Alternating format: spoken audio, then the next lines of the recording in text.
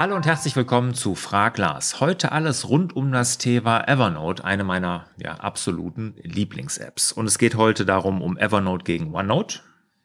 Es geht um die Datenablage in Evernote und die Struktur der Datenablage in Evernote. Und vorab möchte ich euch noch äh, kurz davon erzählen. Ich war vor ein paar Wochen ja von Evernote Zürich, also dem Headquarter hier in Europa, eingeladen worden. Da haben wir ein bisschen so einen Ausblick gekriegt, wie sich Evernote entwickeln wird. Und Evernote wird ganz, ganz stark das Businessmodell, also Evernote Business pushen und hat da neue Funktionen vorgestellt und so. Das war richtig stark, was da auf uns zukommt. Also ich freue mich schon drauf. Wir nutzen es ja in meinen Firmen, nutzen wir Evernote Business für die Ablage, die Datenablage in der Firma und da kommen richtig tolle Sachen auf uns zu nächstes Jahr, also 2018. Also da freue ich mich drauf. Kommen wir aber jetzt mal zu den Fragen. Aber ihr könnt euch natürlich auch drauf freuen, klar. Also, die erste Frage ist von Andreas. Ich verwende derzeit OneNote und habe mich gefragt, ob ein Wechsel zu Evernote der richtige Weg ist. Ich konnte leider bei Ihnen nichts finden, ob Sie mal einen Beitrag dazu gemacht haben. Daher würde ich gerne wissen, was Ihrer Meinung zu OneNote versus Evernote ist. Ja, vorab erstmal, es ist ein äh, Vergleich geplant. Ich habe einen Experten, was OneNote ein, angeht, eingeladen. Wir wollen uns mal so ein bisschen betteln, ne, was jetzt wirklich besser ist, weil ich kenne OneNote wirklich nur sehr oberflächlich. Ich habe damit natürlich auch schon mal so ein bisschen gearbeitet, mir das angeguckt, um mir ein eigenes Bild zu machen. Aber ich möchte gerne mal jemand, der vielleicht OneNote so gut kennt wie ich Evernote, dass wir uns mal in dem Podcast dann so ein bisschen betteln, was jetzt wirklich besser ist. Aber jetzt mal meine Beweggründe, wolltest du ja wissen.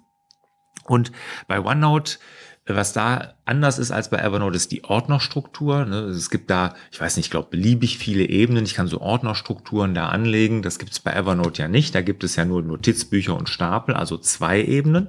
Ne? Das ist bei OneNote deutlich mehr. Dafür ist natürlich bei Evernote die Schlagworte sind da, stehen da im Fokus. Und Evernote sagt ja eher schlanke Notizbücher, mehr Schlagworte nutzen.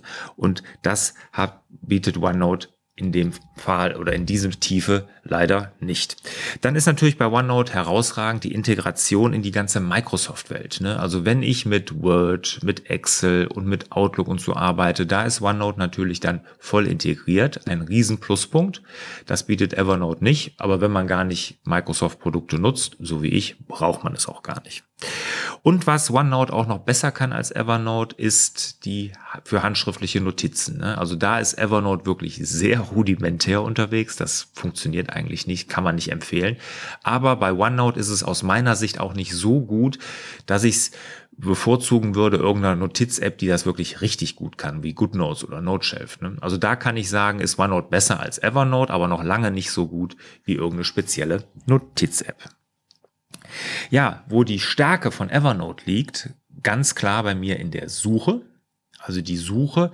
Äh, Evernote sagt ja auch gar nicht, es ist keine Suche, es ist ein Finden in Evernote. Und das muss man wirklich sagen. Das ist wirklich richtig gut. Und im Business-Bereich gibt es diese kontextbasierte Geschichte auch noch, wo man wirklich dann kontextbasiert zu seiner Suche sehen kann, was andere äh, Notizen dazu passend sucht Evernote direkt raus. Also richtig, richtig klasse. Also das kann OneNote so nicht.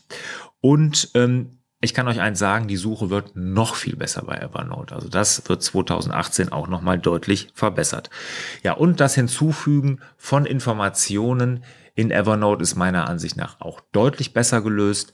Also so ein Webclipper zum Beispiel, ne, wo ich einfach im Browser, wenn ich eine interessante Webseite sehe, mir die ganz schnell mit einem Klick mal eben in Evernote ablegen kann.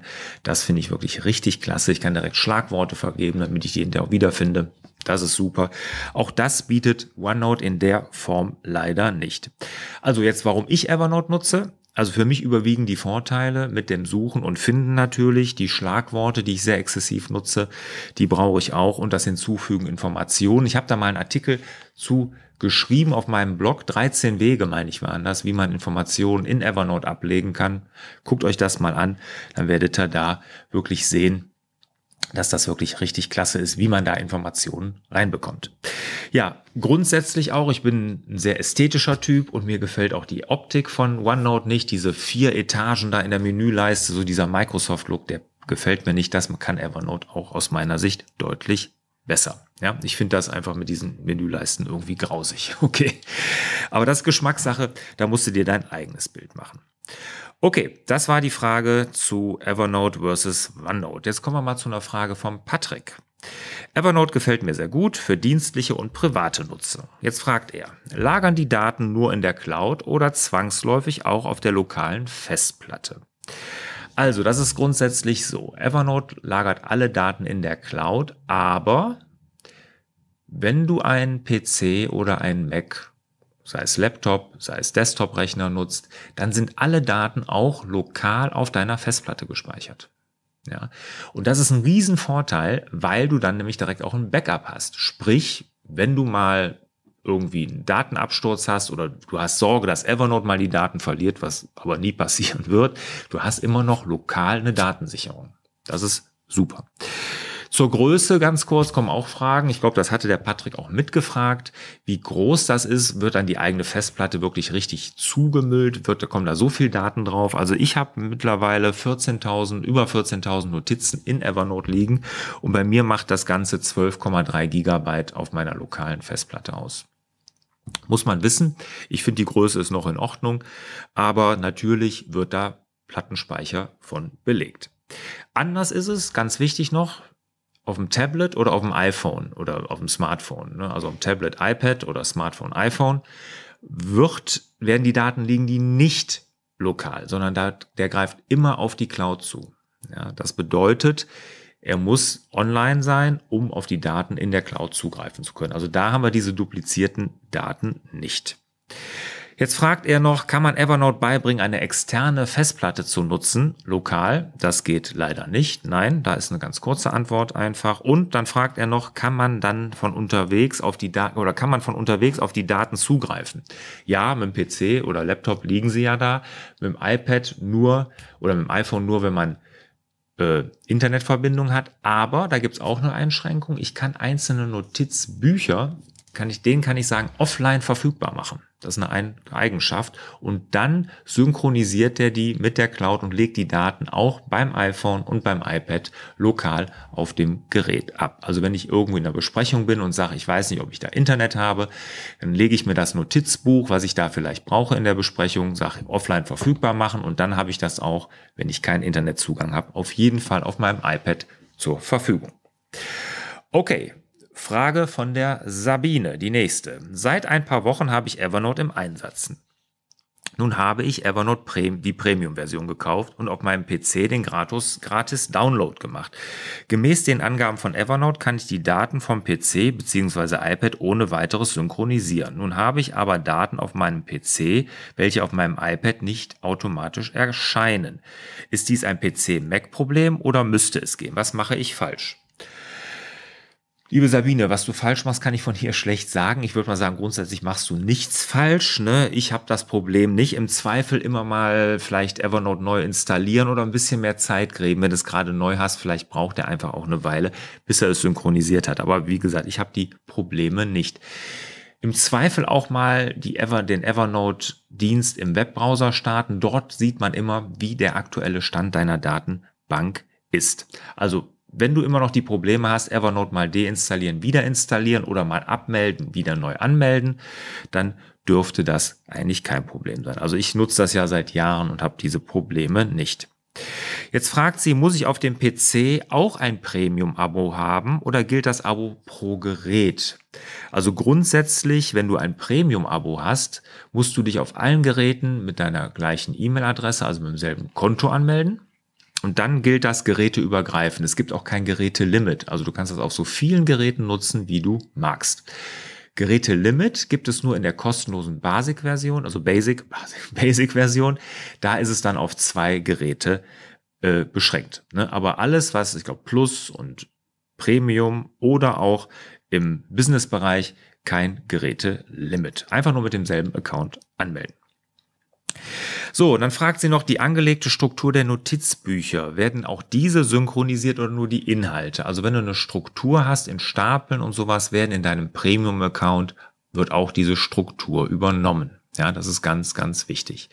Auf all deinen Geräten hast du dieselbe Struktur. Das gilt auch für Business, die Business-Struktur. Also wenn du im Business-Bereich bist, die Struktur anlegst, die ist auch auf all deinen Geräten gleich. Da aber die Einschränkung bei deinen Teammitgliedern, die im gleichen Business-Account sind, die haben alle eine eigene Struktur. Ja, da wird die nicht übernommen.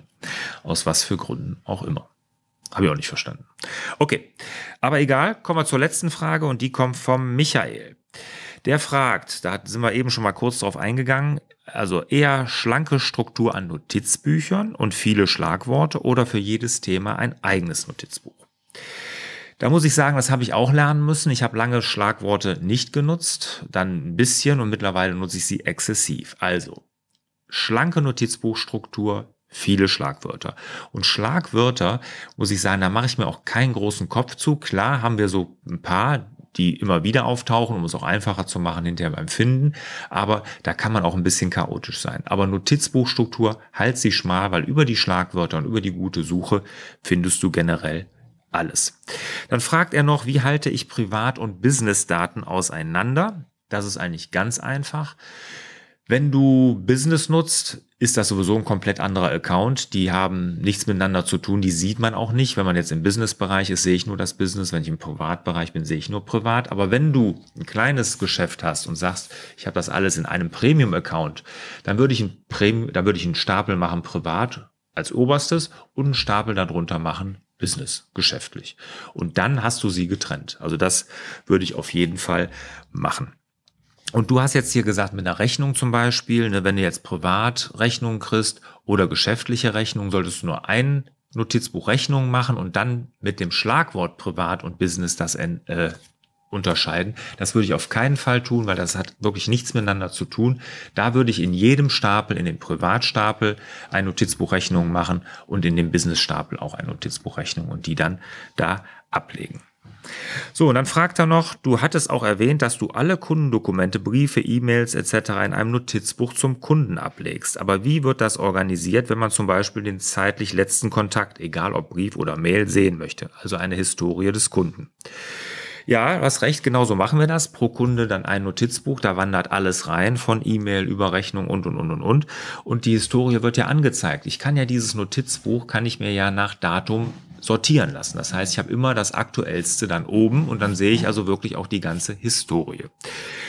Äh, wichtig noch hier, ich würde da auch Schlagworte auch hier nutzen, zum Beispiel ein Schlagwort für Rechnung, ein Schlagwort für Auftragsbestätigung, vielleicht ein Schlagwort für Protokoll. So, und so hast du dann, wenn du jetzt in den Kunden gehst, kannst du dir zum Beispiel, wenn du nach Schlagwort Rechnung filterst, siehst du alle Rechnungen des Kunden oder alle Auftragsbestätigungen, alle Lieferscheine oder alle E-Mails, alle Protokolle, was auch immer. Also da macht eine gute Schlagwortstruktur dann durchaus auch Sinn.